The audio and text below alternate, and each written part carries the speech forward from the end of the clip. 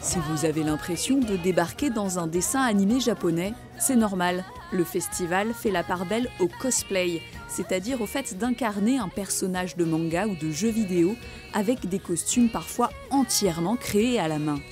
C'est un faune tiré de l'univers médiéval fantastique. Je prends comme référence le monde de Narnia.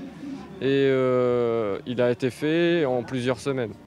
À l'origine de ce festival, il y a Gilles, habitant de Chérizy et imprimeur de manga depuis une vingtaine d'années.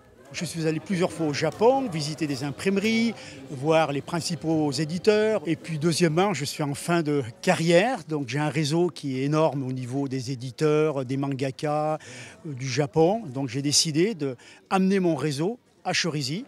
C'est donc logiquement que le festival met en avant de jeunes auteurs de manga, comme Hachin.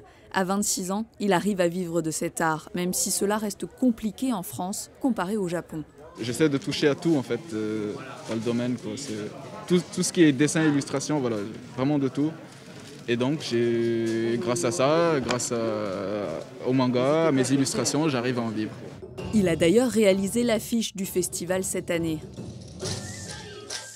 Un festival qui met à l'honneur le Japon sous toutes ses formes, comme le yosakoi, une danse née dans les années 50. C'est euh, quelque chose de très enjoué, de très coloré, de très dynamique, donc qui casse un peu avec l'image des arts traditionnels japonais où on a, on a souvent l'impression que ça va être des mouvements lents, que ça va être quelque chose de calme, de très encadré. Si le monde du manga séduit surtout les plus jeunes, les organisateurs ont réussi à attirer d'autres générations cette année grâce aux personnages de la guerre des étoiles venus leur en mettre plein les yeux.